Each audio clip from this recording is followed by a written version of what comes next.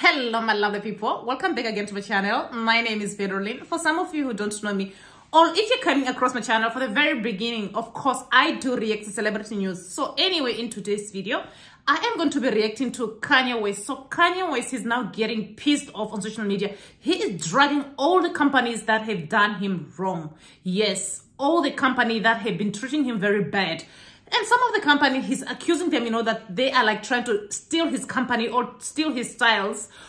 Nobody is, sure about that because Kanye West, if things do, doesn't go his way, he, he always rents out on social media. So right now, even his own lawyer, they are now begging him, you know, to stop, you know, going on social media, exposing, you know, some legal information concerning some other companies. They are begging him. Imagine, you know, getting begged by your own lawyer it seems if you know Kanye West, he cannot take any instruction from anybody. Of course, I am a big fan of Kanye West, but do I like what he do does on social media? No.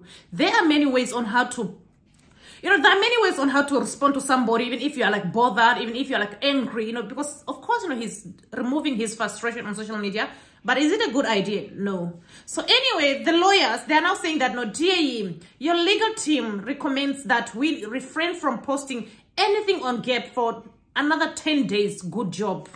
Good job. Maybe people on social media now they are going to relax because kanye west he has been posting. I'm not even sure even even those people who works for him you know how are they feeling at this moment? Because he keeps posting even in a day he can post nearly to 10 20 and then you ask yourself that what time is kanye west going to relax? What time is kanye west, west you know have a sleep?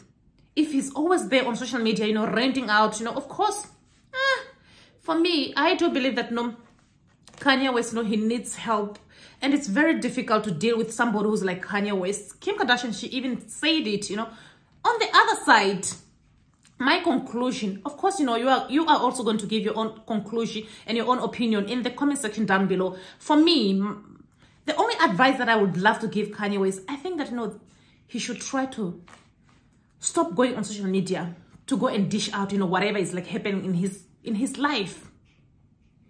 I do believe that maybe he he did like some contract with those people. So why can't why can't he read? You know, because I don't understand why is it that some other people you enter a contract and then you find out now when you are entering or when you are signing a contract, why is it that you don't read? You know, because sometimes when you do some contracts in those what I've what I've observed, I have observed that you know, a lot of people they sign contract that you know at the end of the day or after some years they are going to regret the contract. Because most of the time you know when you are signing a contract you have to to look if the contract is okay. If if the contract is it's it's not okay you are going to negotiate with the company. Because for me i don't know if kanye west you know he signed a contract whereby these people maybe they are trying to take advantage of him or maybe at this moment he realized that no of course you know on one of the video clip he was like assuming you know or saying that the company they wanted to buy his company you know at 1 billion you know. So kanye west you know he's not interested in that.